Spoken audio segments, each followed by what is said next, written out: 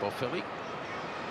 And he slips the pass nicely, and this guy's a very good winger, and he gets more space, Cancelliere. And now the kick through, and the chase for Moroni. If it sits up, he's a chance, and he's over. Beautifully worked. Try scored by Matias Moroni. It's a great read. Spot on, look at that. Just the right foot step to create the hole. And then looking for support, decides to put it to the toe. The weight's perfect, sits up nicely. Try time, Jaguares.